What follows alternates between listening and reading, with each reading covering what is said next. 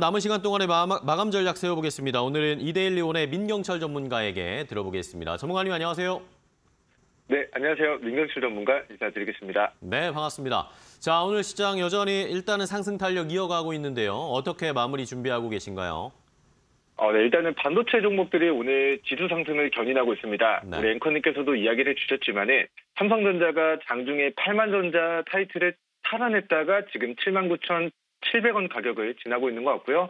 자, 그리고 SK 하이닉스도 연중 고가를 돌파했습니다. 그래서 당분간 20만 원에서 22만 원까지 추가 상승 이어가는지 관심 있게 보시면 좋을 것 같고 그리고 삼성전자가 1에서 2% 하이닉스가 장중에 3에서 4% 정도 상승 나오면서 한미반도체라는 종목이 5% 정도 오전장에 강세를 보였는데요. 현재 막판에 우리 한미반도체 종목이 16%의 장대 양봉을 기록하면서 삼성전자, 하이닉스가 우리 AI, 반도체, HBM 이런 이슈들 가지고 고공행진 신고가 돌파를 시도하니까 그 밑에 있는 우리 중소형 반도체 기업들도 오늘장 코스피 지수를 끌어올리는 어, 좀 역할을 하고 있는 것 같습니다. 그래서 삼성전자 하이닉스가 우리 인공지능 AI 반도체 HBM 키워드로 추가 상승을 가져가게 된다면은 우리 코스피 지수 또한 2,800, 2,900, 3,000포인트까지 추가 시세 상승 가능성 염두하시면서 우리 올해 이제 금리 인하 세 번 정도 연준이 진행하게 되는지에 대한 부분들 관심 있게 보시면 좋을 것 같고요.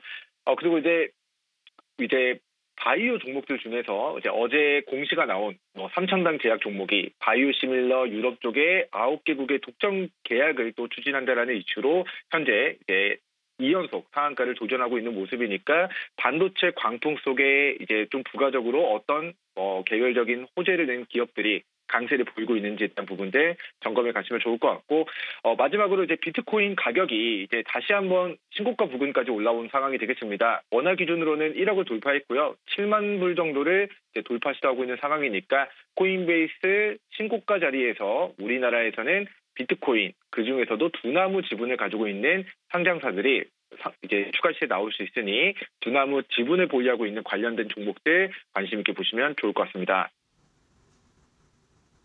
좋습니다. 자, 그렇다면 막판까지 저희가 살펴볼 만한 종목도 하나 소개해 주시죠. 네, 마지막 종가 관심주는 LG 네. 헬로비전 종목입니다. 네. 방송통신 사업자고요. 전기차 충전 테마주로 부각이 되는 종목인데 뭐 최근 과거 시세 반납한 눌림목에서 매수세가 다시 들어오고 있는 것으로 확인이 됩니다. 손절가 3,350원, 매수가는 금일 종가 이하 가격으로 시청자분들이 관심 있게 누려보시면 좋을 것 같습니다. 네, 알겠습니다. LG 헬로비전까지 막판에 저희가 살펴볼 종목으로 한번 주목해 보도록 하겠습니다. 오늘도 좋은 전략 알려주셔서 감사하고요. 다음 시간에 또 뵙겠습니다. 고맙습니다. 감사합니다.